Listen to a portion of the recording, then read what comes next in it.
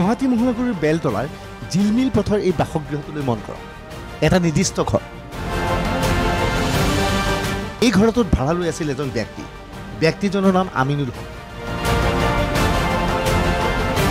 হঠাৎ পুৱতি নিশা এনফৰ্চমেণ্ট ডাইৰেক্টৰ আৰু এন আই এৰ উদ্যোগত আৰক্ষী বাহিনীয়ে অভিযান চলাই ব্যক্তিজনক গ্ৰেপ্তাৰ কৰে।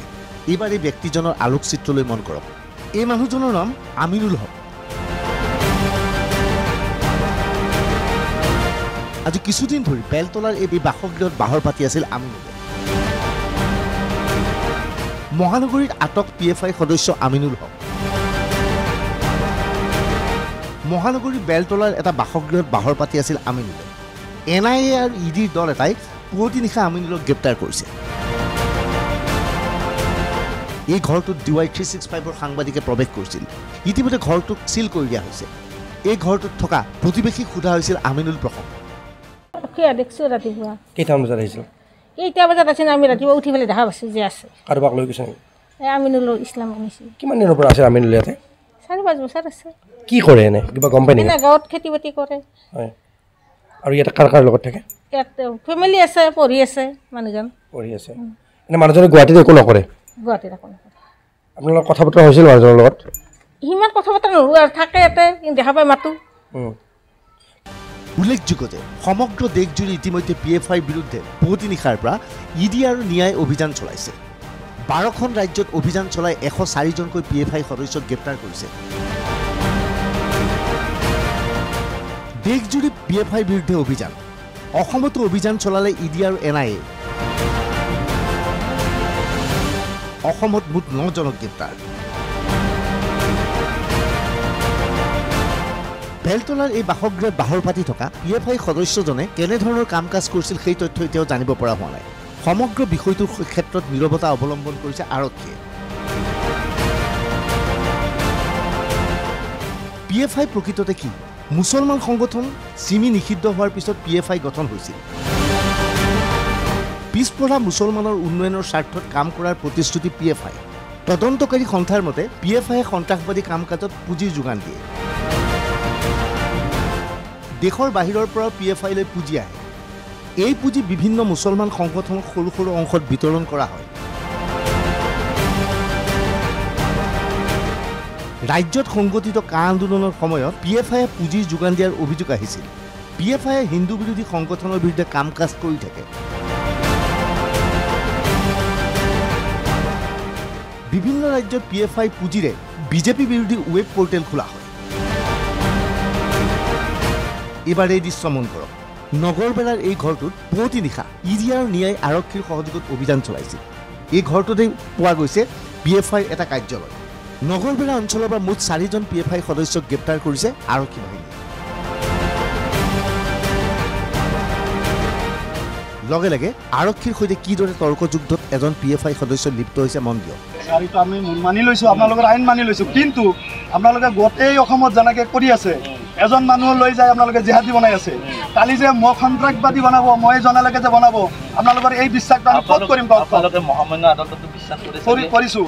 পৰৱৰ্তী সময়ত এই অভিযানৰ বিৰুদ্ধে ৰাজপথত নামি পৰে নগৰবেলাৰ পি এফ আইৰ একাংশ সদস্য।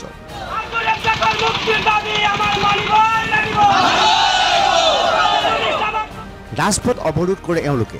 এওঁলোকৰ শ্লোগান মন কৰক।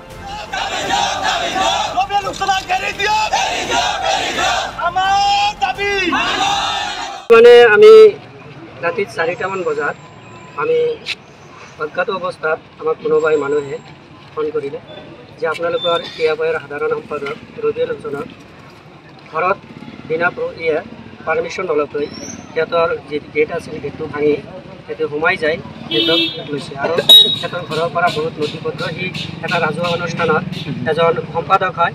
সেই ঈদগাহ কমিটিৰ যিমান কাগজ পাতি আছে সমস্ত কাগজ পাতি কাগজ পত্ৰবিলাক সেইটো লৈ গৈছে। আজিলৈকে এতিয়ালৈকে আমি কোনো গম পোৱা নাই। নগৰপাৰা এলেকাৰ পৰা কেইজনক নগৰপাৰা এলেকাৰ পৰা আমাৰ চাৰিজন লৈছে এই ৰড ব্লক কৰাৰ উদ্দেশ্য হোক আজি ৰাতি মোটামুটি ইন্ডিয়াৰ দশটা ষ্টেটৰ পৰা মোটামুটি আমাৰ পপুলাৰ ফ্ৰণ্ট অফ ইণ্ডিয়াৰ বহুত লিডাৰ আজি তেওঁলোকে ই ডিৰ নেতৃত্বত উঠাই লৈছে। তাৰে ভিতৰত অসম ৰাজ্যৰ বিশেষকৈ আমাৰ নজন মানুহ উঠাইছে। এই নজন মানুহক আমি বিশেষতে গম পোৱা মতে তেওঁলোকে ক'ত আছে এতিয়ালৈকে আমি গম পোৱা নাই। গতিকে আমাৰ নগৰপৰা প্ৰশাসনক আমি জনাবলৈ বাধ্য হৈছোঁ বা তেওঁ আমাৰ ৰোড ব্লক কৰাৰ কাৰণ এইটোৱে যিমান সময়লৈকে আমাৰ ইয়াৰ ৰিজাল্ট নিদিব ক'ত ৰাখিছে ক'ত মানে তেওঁলোকে আছে কি উদ্দেশ্যত উঠাই লৈ গ'ল সেই ৰিজাল্ট নিদিয়ালৈকে আমি এই ৰোড ব্লক কৰি ৰাখিম। আৰু ইয়াৰ লগতে আপোনালোকৰ জ্ঞাতৰ্থে আমি জনাওঁ যিমান সময়লৈকে এই লিডাৰসমূহক আমাক এৰি নিদিব বিনা চৰ্তত সিমান সময়লৈকে আমি এই ৰোড ব্লকেই নহয় যিকোনো পৰিস্থিতিত যিকোনো আন্দোলন কৰাৰ কাৰণে আমি বাধ্য থাকিম। এইবাৰ এই ব্যক্তিজনক মন কৰক। এওঁৰ নাম আবু চামা আহমেদ। বৰপেটা ৰোডৰ Abu Sama Ahmed P F I ৰাজ্যিক উপ সভাপতি আছিল। বৰ্তমান তেওঁ বৰপেটা জিলা কমিটিৰ সভাপতি। পুৱতি নিশা তেওঁৰ বাসগৃহত অভিযান চলাই গ্ৰেপ্তাৰ কৰা হৈছে। মোৰ খুৰা হয় আবুচমা হোৱা নাছিলে কৈ ৰাতি আহিছে আহি কেনে উঠাই লৈ গৈছে। পুলিচে লৈ গৈছে। সেইটো বা কিয় লৈছে সেইটো নাজানো যে ই তাৰমানে শুই আছিল ৰাতি ৰাতি তিনিটা বজাত মান আহি উঠাই লৈ গৈছে। কোনো কিবা প্ৰুফ চুফ একো দেখুওৱা নাই ডাইৰেক্ট খালি উঠাই লৈ গৈছে। একো কোৱা নাই কৈছে যে বৰবাৰ ৰোডত লৈ যাম থানাত ল'ম চিন্তা কৰিব নালাগে অলপ পিছত আহি যাব। পি এফ আই কৰিছিল পি এফ আই কৰিছিল। পি প্ৰেচিডেণ্ট আছিল। বৰপেটা জিলা নাজানো ইমান ভালকে নাজানো। আঞ্চলিক সমিতিৰ হ'ব পাৰে। এইটো পি এফ আই কৰে এইটো সংগঠন কৰে এইটো এটা ইটো নহয় না জেহাদীটো নহয় না। চিম্পল সংগঠন এইটো সমাজৰ কাৰণেতো হয়। এইবাৰ কৰিমগঞ্জৰ এই ব্যক্তিজনক মন কৰক। নাম বজৰুল কৰিম। বজলুক পুৱতি নিশা আৰক্ষী বাহিনীয়ে গ্ৰেপ্তাৰ কৰি গুৱাহাটীলৈ লৈ অহা হৈছে। এই পি এফ আই সদস্যসকলক এই মুহূৰ্তত গুৱাহাটীত ক'ত ৰখা হৈছে, সেই কথা এতিয়াও স্পষ্টভাৱে জানিব পৰা হোৱা নাই। Bureau' report D Y three six five.